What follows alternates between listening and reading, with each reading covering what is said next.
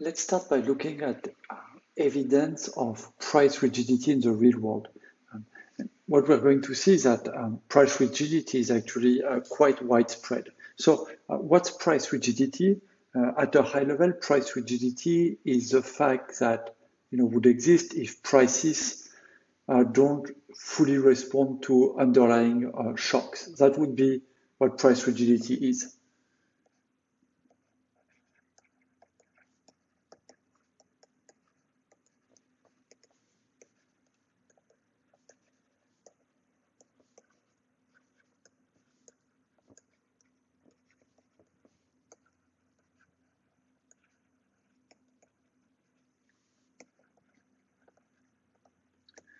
And uh, of course, a special case would be a fixed price in which um, the price doesn't move.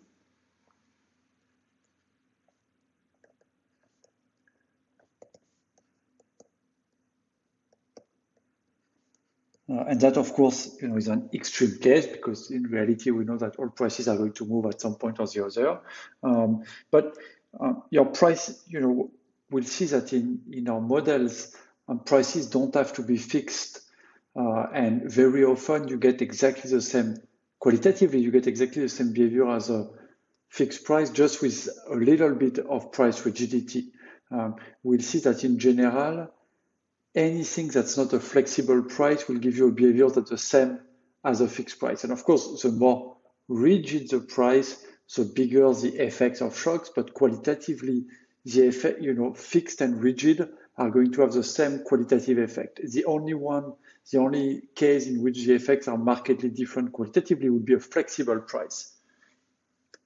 Um, I think that's that's the proper way to look at it. Um, anything that's not flexible is rigid, um, and anything that's rigid, including fixed, will have the same effect qualitatively as we'll see. Um,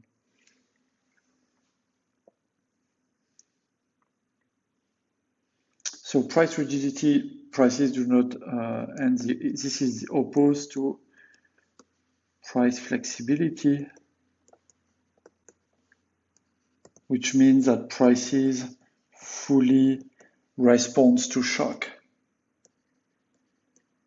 And if they fully respond to them, means they basically absorb them. Prices are going to absorb all the shocks, such that quantities are not going to move.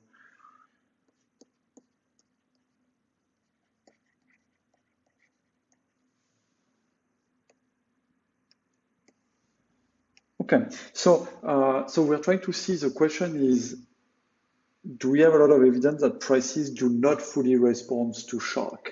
Um, so indeed we do. Uh, so let me see. Let me show you a little bit like what's out there. Um, so the most uh, common evidence. So we're starting with prices. We'll move to wages later. We're starting with prices just because there has been a big literature in the past 20 years looking at uh, price rigidity. Um, so that's mostly why we start with that. So most of the evidence uh, on uh, price rigidity takes the form of the table that I've uh, copied here. So this is a very nice table uh, that comes out from a survey by um, Amy Nakamura and John Steinsson that was published in 2013 in the um, Annual Economic Review. And this is summarizing a lot of their work as well as uh, the work of um, and Kryvtsov, um, and even some previous work by Bils and Klenow. Um, and so all of this is, uh, all of these papers are looking at price changes in uh, consumer prices. Uh, they are looking at the US. Um, and what they're most looking at is the frequency of uh, price changes. So that's what they focused on. And all these uh, research teams had access to uh, the microdata used uh, by the BLS to construct the CPI, the Consumer Price Index. So, you know, inflation numbers, what we hear a lot uh, in the, about in the news these days, inflation number is constructed from uh, the CPI, the Consumer Price Index. So inflation is just the rate of change in the CPI. The CPI, the Consumer Price Index, is constructing every constructed every month by the BLS, the Bureau of Labor Statistics. And to construct that, they have to measure the price of all kind of uh, products every month. And so there is a micro data set that lists the price of all these products. And so all these research team, Amy and John, and also Bill and Klenow and Klenow and Kryvtsov had access to this uh, data set. And in this data, they were able to look at um, the frequency of uh, price changes uh, for whole bunch of items. So what is it that they find? So first you can see here, we have two things. We look at the median uh, of these uh, statistics and the mean. So of course, these two things are not exactly the same, and we'll see that um, we'll have some slight difference here. And so um, two things are reported here. So we have the frequency of price changes here. Um, so frequency of price changes, it's um, the probability that a price uh, changes in a given month.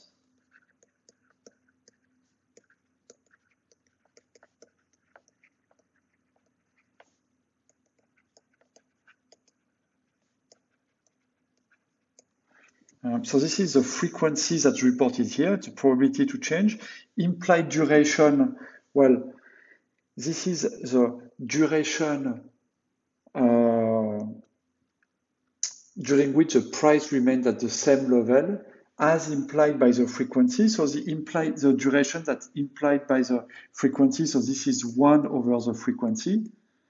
Because you know that if you have a Poisson process with an arrival rate of say lambda, uh, lambda it's the probability that your event occurs during a time period, say during a month. And further, so this is what's reported in the first column. Lambda is just the frequency. And then once you have such a Poisson process, the um, expected duration until the event occurs is 1 over lambda. So when you have this parameter lambda, 1 over lambda is the duration until the event occurs. That's implied duration reported in the second column.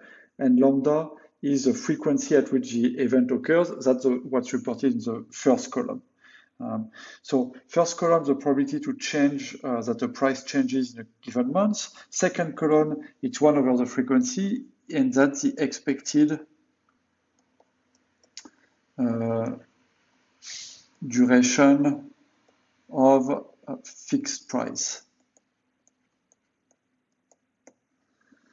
So this is the duration during which your prices are going to be fixed. Uh, and this is across a lot of different products. So uh, here we have both the median values of these uh, statistics and their mean values. Okay, and then uh, you can notice that so we have frequency implied duration. These are just like two ways to look at the same thing. Um, this is all uh, implied duration, so this is in months frequency a probability uh, per month, probability that something uh, occurs per month.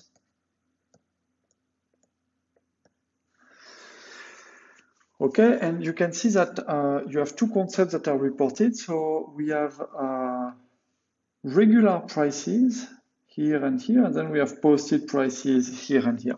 What's the difference between these two things? Um, well, posted prices are just prices that are posted in the store.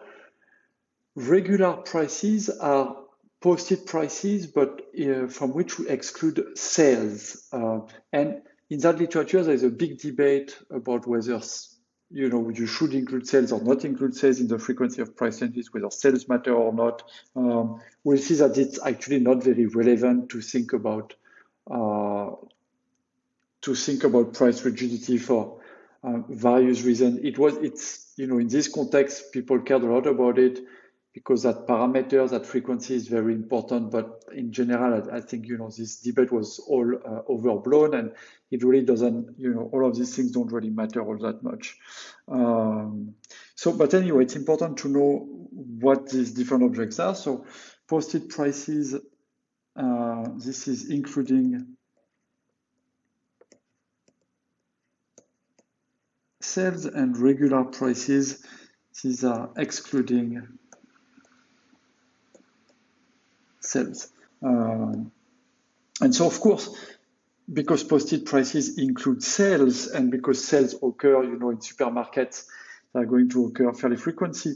Uh, prices that are posted, they change more frequently than regular prices. So you can see, for instance, here we have 20% uh, chance of change per month for the posted price, whereas for the regular price in the same period, you have only 11% uh, chance of change. Here it's the same. You can see the posted price, 20% uh, chance of change, and the regular price only 13%. So you can see the frequency uh, of regular price is about half uh, the frequency of change of the posted price. Um, okay, so these are all the various definitions. Um,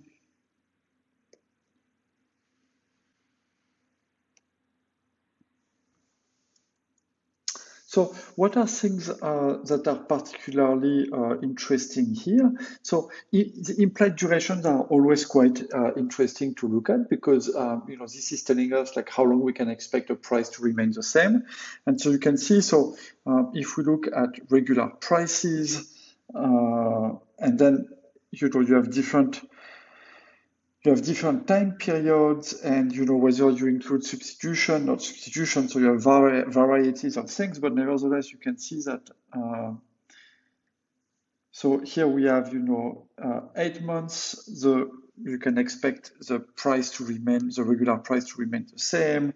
Here seven months nine months again eight months. Uh, so you know i think eight months is uh, roughly what pops out here. And uh, here it's seven months. Um, and of course, if you look at posted price, which includes sales, the price at which this is uh, going to be fixed is uh, roughly half of that. Um, so I think, you know, in, in median, if we look at the median, this is roughly, you know, seven to eight months of, you know, price stability And if you look at the at the mean number instead of the median, uh, prices appear, uh, if anything, a little bit uh, a little bit stabler. So here you see you have roughly 11 uh, months. Here you're more at nine. Um, so it's a little bit uh, here. It's for regular prices, and here you have another nine. So for if we look at the mean value for all of this uh, across all items, you know we're we are closer to, uh, you know, say 9 to 11 months here of price stability. And the reason why the mean is bigger than the median is because you have some products that have prices that stay stable for a very, very, uh, for a very long time, uh, which, you know, pushes the mean higher than the median. Um,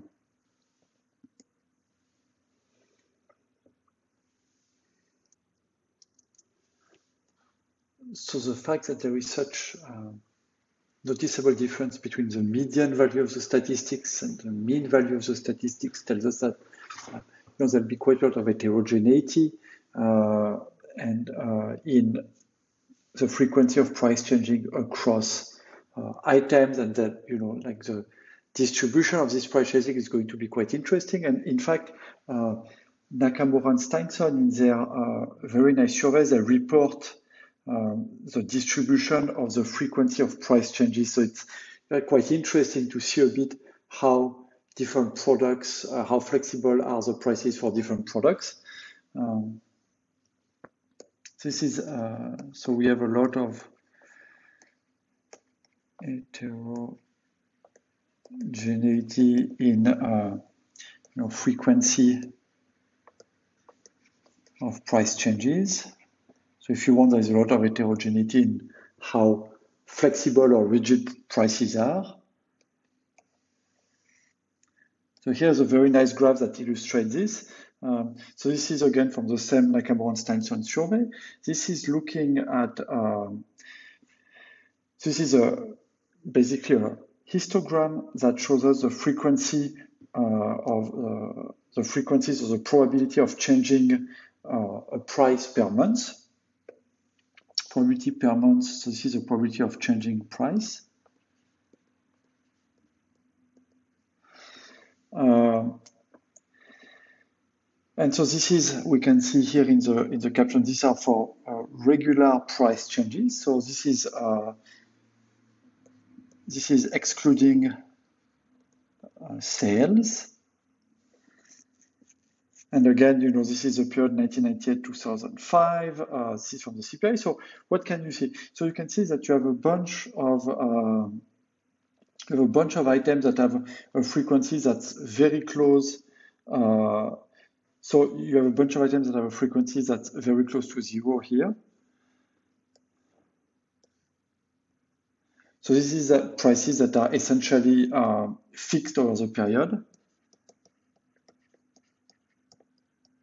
Because uh, the probability of changing price per month is you know almost zero. Um, then you can notice that there is really a big uh, amount of products that have a frequency uh, around you know kind of 10% here. There's really a bunch of product here. So 10% probability per month of changing uh, your price. So these are uh, these are these are products whose prices are fixed for, you know, about 10 months or about a year. Uh, if you have a frequency of changing price slightly below 10%, uh, then you'll have prices that are fixed for about a year in this thing. Then you have prices that are completely fixed here. And then you can see that after that, you have prices that are kind of scattered uh, all over um, the frequency range. Um, and at the end, very interestingly, you notice that you have a bunch of product here at the top end of the range with a, so these are, you know, prices that for sure will change every month. So these are prices that are essentially flexible. Uh, in the sense that, you know, they're going to constantly change, uh, they're going to constantly change uh, every month. So there is indeed, you know, a, a lot of heterogeneity in how prices change. Um, and that, that's not very surprising because, uh, well, you know, of course, you have very different norms of pricing across products. You know, something that's sold in a retail store is very different from something that's going to be sold in a supermarket. Uh, you know, goods that are perishable would be very different from goods that are uh, that you can store. Services are very different from goods, and so on and so forth. But furthermore, you know, the cost, the underlying cost for different goods also vary uh, vary widely, and um, you have goods for which the cost of production fluctuates um, a lot at a very high frequency, whereas you have goods for which the cost of production is very stable. And so there's no reason to expect um, the frequency to be the same, you know, if the underlying uh, shocks to the production costs are very are very different.